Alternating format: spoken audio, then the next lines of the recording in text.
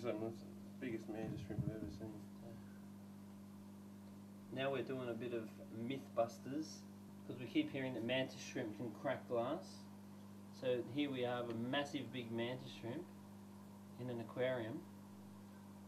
We're going to do our best Just use your finger. to try and annoy him.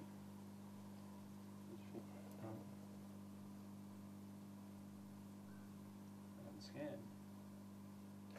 He's fucking- This is what he did last time Oh, though. he's gonna crack it. Can a mantis shrimp crack glass? That's the question on our lips.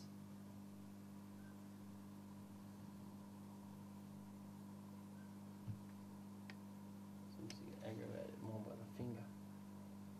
Fuck if I want to do that. Oh, he's after me. He's not worried about the fork. He's only, only after me. Get rid of the fork. Get rid of the fork. Come on, come on. Woo! Woo! Oh, he does a little U-turn. Come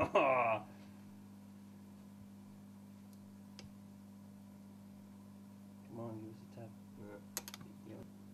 He's cleaning his eyes. Look at the way he cleans his eyes. Get in close on his eyes. Oh man, this is this is amazing. Where's this stick thing?